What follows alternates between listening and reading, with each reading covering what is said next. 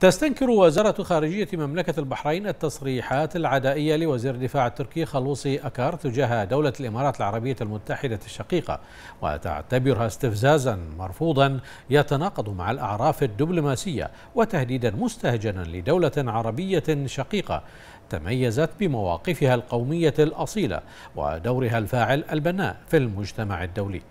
وتؤكد وزارة الخارجية على تضامن مملكة البحرين مع شقيقتها دولة الإمارات العربية المتحدة ووقوفها صفا واحدا مع دولة الإمارات في موقفها الثابت بشأن التدخلات التركية في الشؤون الداخلية للدول العربية والتي تتعارض مع مبادئ ميثاق الأمم المتحدة وميثاق منظمة التعاون الإسلامي. وتمثل تهديدا للأمن القومي العربي والأمن والسلم الإقليمي.